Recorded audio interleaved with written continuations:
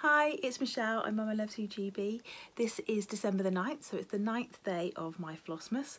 I've got all the normal things to share with you today. So I have got some past stitching finishes, I've got freebie, I have got my advent calendars to open, I've got a little bit of stitching that I've done and some beautiful stitchy kindness as well. I've also got a couple of um, bits of haul to show you. Now I said I know I was going to wait until uh, Sunday to show you the haul. But this isn't quite it's stitchy related but it's not um, charts or anything like that. So I'm going to show you it today. Right I'm going to start off with the what I've been stitching on. And I showed you yesterday that I had made a start on oops, the Prairie Schooler Evergreen. And this chart's only been kicking around for the last couple of days and it's already a bit dogged because I didn't take a working copy beforehand. But never mind, we know it's not a cardstock copy. We've already had that grumble. So I've started that. And the place I'm in at the moment is I haven't done a prairie schooler for a long time. And I'm now wondering why haven't I done a prairie schooler for a long time? It's the most glorious thing. It is fantastic. I'm so in love with it already. I said yesterday I was doing a sulky conversion and this is where I've got to. So I've finished the first the first little box. So there are nine nine little pictures that all go together and there's also two extra ones on the back as well so you can make a couple of little ornaments or you could make it all into ornaments if you wanted to. So I've finished the little Santa. And like I said as I've been stitching him I've been thinking why? Why haven't I been doing more prairie schoolers? Because they are just phenomenal. So I'm going to work down I'm going to go on to the little owl underneath. So as I said I've got my sulky threads. And when I've finished it I will put the sulky conversion up.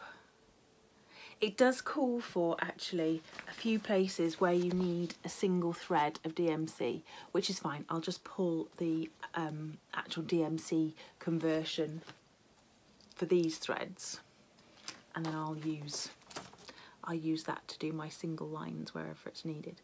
But I am so chuffed with him at the moment. This is a piece of 32 count Tobias just look at that coverage for one thread, one thread of the 12 weight sulky. It looks amazing. So I can see me getting a little bit obsessed with this one until I get a little bit obsessed with something else. That's the way it goes. Right, so past finishes. I've got two past finishes to show you. The first one, you've already seen one of the set that I've done. So I showed you January a few days ago. So this is March from Puntini Puntini, When I Think Of. And you've got the rainbow, the rain, the shamrock and the little welly boots there. Absolutely gorgeous and finished onto my spool. Well, we did lose the arch. The arch is now in two pieces. So it, it wasn't far off two pieces beforehand, but um, yeah, it's definitely now not an arch anymore. the plants look okay and I have it on very good authority that I can cut back those plants quite harshly and they will still be okay. So I might have to do that because, uh, yeah. And everything else in the garden looks distinctly on a kilt. So when it's fully finished, the storm, and we've still actually got quite high winds, sort of 48 hours later, we've still got high winds, um, I will get out in the garden and have a look and then get Chris to fix it. I'm rubbish at gardening. I'm absolutely rubbish at it. I can't keep anything alive. I have cacti and because cacti look okay until they fall over and you realise they've gone hollow inside and then you just get a new one as far as I'm concerned. I'm rubbish at it. My second thing that I finished was the first in my unfinished sampler series and I will put the link down below. So for those of you who've only been with me recently, my idea of an unfinished sampler series was to buy a little old sampler and exactly that that was unfinished and I've got two others waiting just for me to get around to actually charting them. And uh, so I released as a freebie that. So this is the actual antique. It's about 46 count I seem to remember. And that's what the chart was, the grid, exactly that. And then I asked people to finish it. So this was mine. This was stitched on a piece of 36 count, I want to say, oaken. I think it was oaken. And I used motifs from the Brenda Keyes sampler book and I dedicated it to my godmother who was Jeannie Lucas who was born in 1926 and I've also got my daughter's initials on here as well because her middle name is Jeannie after my godmother who was a fantastic fantastic woman she was just hilarious absolutely hilarious I think I remember telling you at the time that she um, she never called a fascinator a fascinator, you know, one of those headpieces that you wear for a wedding. She always called them fornicators, which uh, made everybody laugh. And for one of her birthdays, I think it might have been her 65th or 70th birthday, she went up in a Spitfire. She was she was hilarious. She used to work for the police, um, and so you can imagine the sort of the humour that she would have had working in the police as well. Right, my freebie. This is my freebie. Now, again, uh, the designers must know that I'm giving out some freebies and, and pointing people in the right direction for freebies because the Scarlett House have now added to their website a banner which says freebie so you don't have to go searching for them on their blogs or various different um, places, Instagram or whatever, they're on there. So I've picked this one out and I'll show you the chart way back here but I found a little picture of it. I've not found a picture of anybody who's stitched it but it's just the digital rendering of the chart. So you can see it's got that gorgeous border at the bottom, which reminds me so much of a Welsh blanket. And then it just says, be merry. And I think that would be a really, really nice little stitch. And I've got to stop myself stitching it right at the moment because I'm trying to get things finished. She says, having shown you the new start that she started yesterday. Anyway, my stitchy kindness. Now I've shown you quite a few times um, my lovely friend Deborah Darling makes fantastic floss holders and she sent me a couple of her Christmas ones. So she also sent me a lovely card because she makes these beautiful dolls. Check out her Etsy store. She has got the most fantastic things. So thread holders, she's got Christmas decorations, she makes uh, beeswax um, thread conditioners, all sorts of things. So she sent me two Christmas ones. So this is the first one. Look at that Father Christmas and you can see if I just put the, the light on it how beautifully made it is. And the one thing that I think is really super important with these thread holders is that the holes are super smooth and they are. They're really, really nice and smooth. Now actually I think, yeah I do, have one here that she made previously that's actually got silk on it. So that tells you how good the holes are. If you can put silk on them and then just be able to take a single strand out without damaging your silk, that is pretty amazing. So she sent me this Father Christmas one, which I love. And she also sent me this Father Christmas one. How special is that? So I absolutely love them. Thank you so much, Deborah, for sending those to me. I shall take tomorrow in the light a post or a picture of them so you can see them properly. And I think from the last time I looked at her Etsy shop, I think there are a couple of other Christmas designs as well. So definitely go and check those out.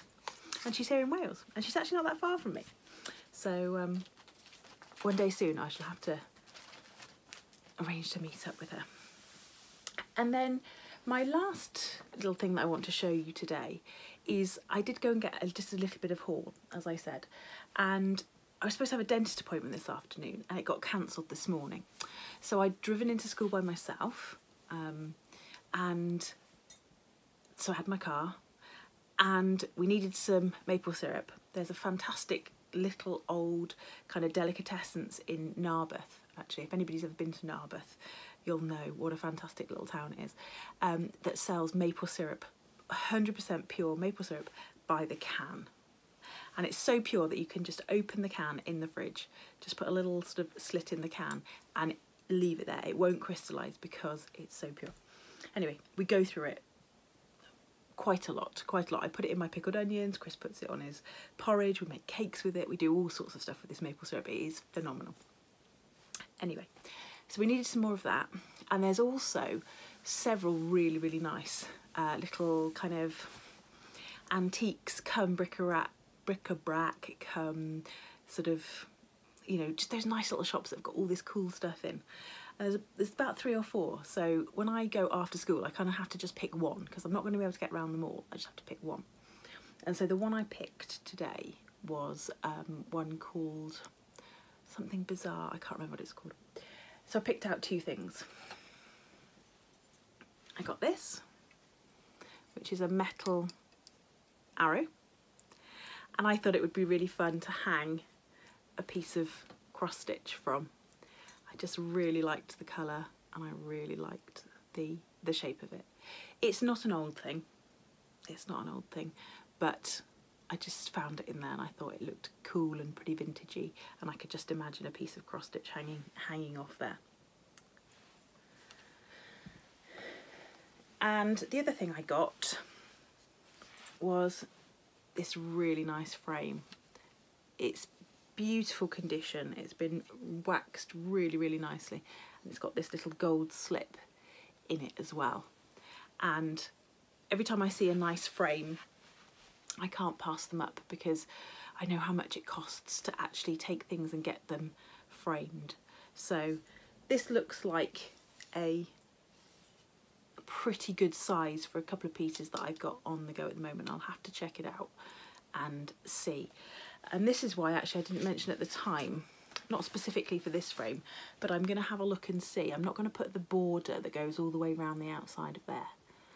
Uh, I'm going to have a look and see what it looks like without and see whether it fits any frames that I've got before I actually decide to um, see whether I put it on.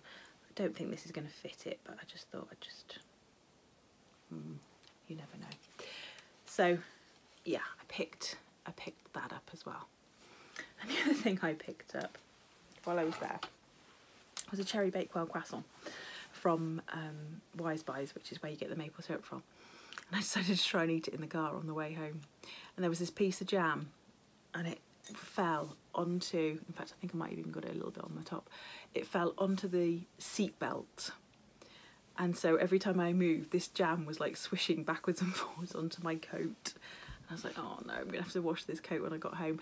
And I, I sort of tried to wipe it off and then I got jam on my hands and then it's all over the steering wheel. And then oh I have never got into such mess trying to eat a croissant in the car before. I, I literally got home and I had to go in and get um, a wet cloth and just literally all the surfaces in the car that I had touched coat's gone in the wash, seatbelt got wiped off. Oh my goodness me. What a palaver, what a palaver to get into just for a cherry bakewell croissant. It was nice, but it wasn't worth coating the car in a fine layer of jam for, let me tell you. Anyway, let's do these two little advent calendars. So this is number nine. And what have we got in here? I've really enjoyed this um, Marks and Spencer's advent calendar actually. I think it's well been well worth the money. This time, oh, I've had this before. Ren Atlantic Kelp and Magnesium Anti-Fatigue Body Wash. Well, I need a gallon of that as well. I've definitely had this one before in something else. Oh, it smells so nice. So between the Anti-Fatigue Body Wash and my Immortal Cream, I might actually make it to the Christmas holidays in one piece. Maybe. Our school is going till the 20, we break up on the 21st. So we finish, go, go all the way through till next Friday and then we have to go back for two days and finish on the 21st. So Christmas is going to be a whirlwind this year. Right, number nine. Ooh, and again, this feels a little bit uh, interesting too. Oh, fancy. Some metallic DMC. Now I'm excited about it, but I also know it's the devil's backside hair. So I'll give it a go. I'll give it a go. But any metallic thread, you know you've got to be in the right frame of mind to work with metallic thread. Otherwise, the whole project's going out the window, isn't it? Anyway, that's enough rambling for me. I will see you tomorrow. Stay classy, Stitchers.